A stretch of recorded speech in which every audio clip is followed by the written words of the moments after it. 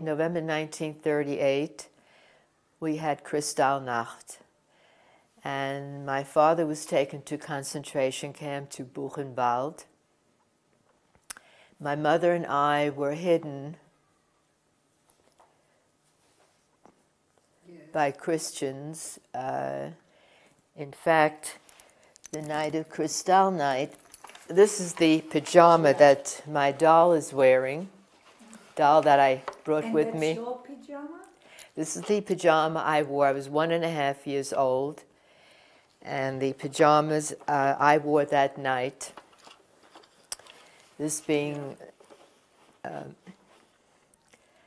my doll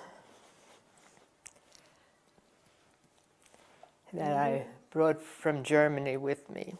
Uh, what name did you give the doll? Inge, a very German name, Inge. Yeah.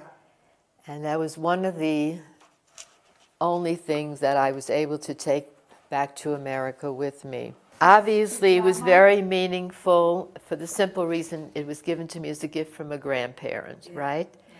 And of course, the fact that I brought it from Germany with me uh, was very meaningful.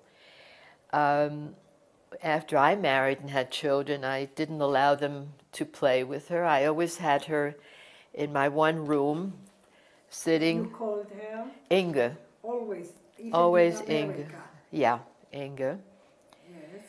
But the pajama she always wore, that was